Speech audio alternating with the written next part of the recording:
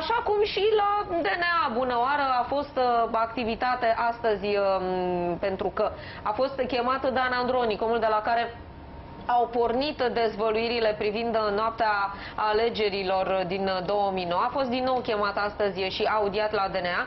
Jurnalistul a dat explicații um, într-un dosar în care este urmărit penal pentru mărturie mincinoasă și favorizarea făptuitorului. Andronică este așteptat și la parchetul general în dosarul alegerilor din 2009. Ați trebuit să dați declarație sau ce s-a Nu, dacă am stat 10 minute, nu aveam să dau declarație. Dar de ce sunt schemate? Acte procedurale, v-am mai spus. Știți ce alea, nu? Mergeți acum și la parchetul general. Ușor. Uh, am promis că nu vorbesc despre lucrul ăsta, am fost citat, mă voi prezenta, voi da declarația de martor, voi da cât de multe amănunte pot, voi povesti ce am scris și în, uh, și în ziar. Nu voi schimba nimic, într-adevăr. În acea noapte s-au discutat subiecte politice, au fost prezenți oamenii despre care am spus, Maior, Coldea, și Gabriel Oprea, Neonțanu, Iordănescu și încă câțiva. Este vorba și de întâlnire de la K2, de la T14, despre partidele de tenis, despre chermezele în care găseai procurori, judecători și uh, ofițeri, uh, ofițeri de informații stând la acea masă într-un cadru care nu avea nicio legătură cu cadrul instituțional și așa mai departe, inclusiv cu generalul Dumbravă.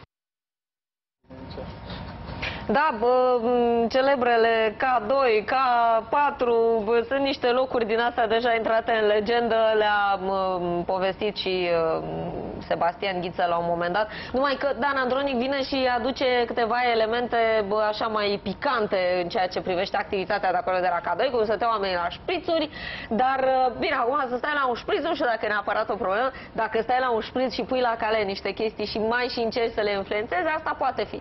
Hai să zicem. Scopul șprițului. Scopul șprițului, exact. exact. Deși asta ar trebui pur și simplu să fie socializare. Și s-ar putea să mai aflăm câte ceva și în acele scopuri ale șprițelor, pentru că așteptăm cu interes ca acest spectacol cu majorete din pauza meciului pe care da, ține în momentul de față Dan Andronic să fie întrerupt de meciul adevărat care se va produce când, va fi, când se va întoarce Sebastian Ghiță în România.